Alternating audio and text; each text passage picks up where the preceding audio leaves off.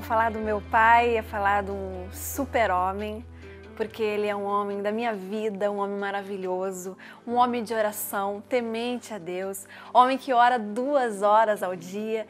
Pai, você é a minha inspiração, você é uma bênção na minha vida, faz parte do meu ministério, você plantou dentro do meu coração o que é confiar, esperar, crer em Deus. O teu carinho, o teu amor, eu quero passar aos meus filhos, porque eu nunca vou esquecer, pai, de momentos na hora de dormir.